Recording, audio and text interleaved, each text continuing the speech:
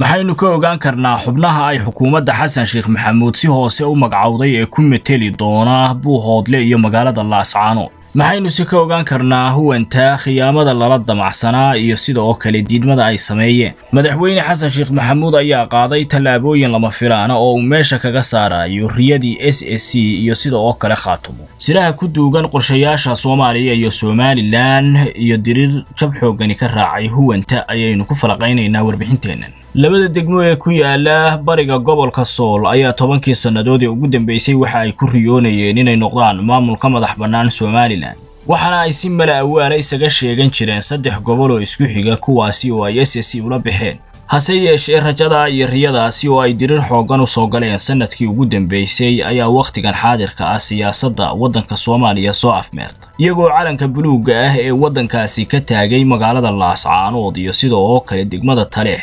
iyo weliba iyagoo gacanta ku haya labadan degmo ayaanay wax najiita ah wakhtigan xaadirka ah ka gaadhin dowladda soomaaliya oo taageertay go'aankooda. Ayaa ujeeddooyinkii ay ka lahayd ay u suurtogeli waayeen waxaana kow ka ahayd dhammaanba waxa maxaabiis ay hayaan inay si rasmi ah ugu wareejiyaan. Dowladda uu madaxweyne xasan sheekh maxamuud hogaamiyo ee xarunteedu ay tahay magaalada muqdisho. Qorshahaasi ayaa mustarfirdhiyo lagula ballamay laba toddobaad kadib inuu fuliyo markii la soo saaray waraaqdii looga beddelanayay maxaabiista tan iyada oo ay iyaguna isku ilaalinayaan maxaabiista rajo weynna ku qabaan ciidanka somalilan inaanu weerar ku soo qaadayn haddii ay ka hayaan maxaabiis ka tirsan. Ayaa arrintaasi ay si weyn isugu fahmi waayeen waxaana si cad u diiday cabdimadoobe oo hogaamiye qaybaha ugu badan ee jabhaddaasi. Ismaandhaafku markii uu batay iyo murankuna waxa ay go'aansadeen in aanay maxaabiistaasi wareejin oo ay isku ilaaliyaan maadaama somalilanna ay duulaan isu diyaarinayso halkaasina waxaa ku soo afgo'ay qorshihii lagu khiyaamaynayay huwanta magaalada laascaanood iyo sida oo kale waraaqdii ay soo saartay dowladda federaalka soomaaliya.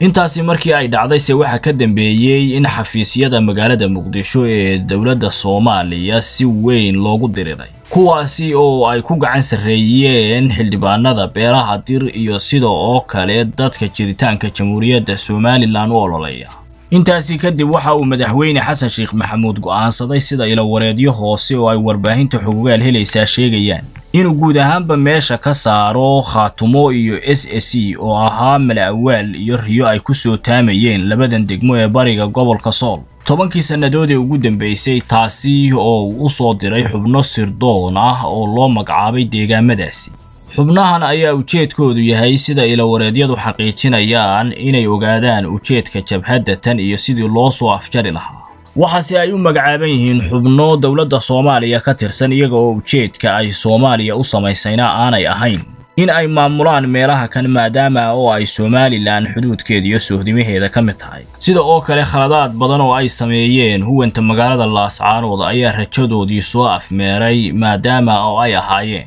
dad tobankii sannadood ee ugu dambeysay u soo xusul duubayay inay maamul ka madax bannaan somalilan helaan iyaga oo aan shuruudihiisii buuxin sida oo kalena deegaamadiisii lahayn. Waxaana ay qaadeen tallaabooyin aan laga filayn kuwaasi oo dowladda soomaaliya aad uga xanaaqday.